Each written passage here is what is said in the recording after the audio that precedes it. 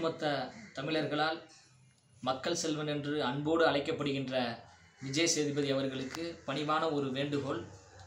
தமிழராக பிறந்தாலும் சிங்கள இன உணர்வோடு இன்று வரை வாழ்ந்து கொண்டிருப்பவர்தான் கிரிக்கெட் வீரர் முத்தையா முரளிதரன் அவர்கள்.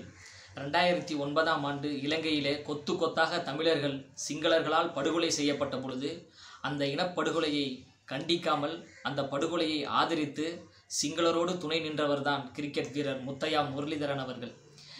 ஈழ மக்களின் விடுதலைக்காக தன் உயிரை தியாகம் செய்து போராடியவர்கள் தமிழீழ விடுதலை புலிகள்.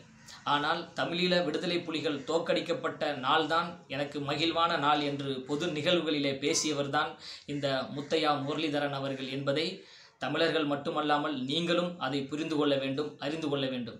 ஆனால் இன்றும் சிங்கள உணர்வோடு வாழ்ந்து கொண்டிருக்கின்ற முத்தையா முரளிதரன் அவர்களுடைய வாழ்க்கை வரலாறை மையமாக கொண்டு எண்ணூறு என்கின்ற திரைப்படத்திலே நீங்கள் கதாநாயகனாக நடிக்க இருப்பதாக நீங்களே சமூக வலைதளத்திலே பதிவிட்ட அந்த செய்தி மன வருத்தத்தையும் ஏற்படுத்துகிறது.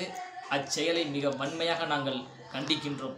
தமிழர்களின் உள்ளத்தில் மக்கள் செல்வன் என்ற நன்மதிப்பை பெற்றுள்ள விஜய் சேதுபதி அவர்களே எங்களுடைய உணர்வை புரிந்து கொண்டு முத்தையா முரளிதரன் என்னும் அவருடைய வாழ்க்கை வரலாறான எண்ணூறு திரைப்படத்தில் நடிப்பதை நீங்கள் உடனடியாக கைவிட வேண்டும்.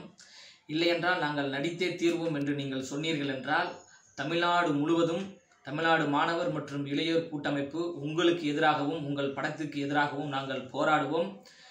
திரையிலே முத்தையா முரளிதரன் என்னும் கிரிக்கெட் வீரராக விளையாட வேண்டும் என்று தமிழர்களின் உணர்வோடு விளையாட வேண்டாம் என்று மீண்டும் பணிவன்போடு கேட்டுக்கொள்கிறேன். நன்றி வணக்கம். லயலாமணி தமிழ்நாடு மாணவர் மற்றும் இளையோர் கூட்டமைப்பு.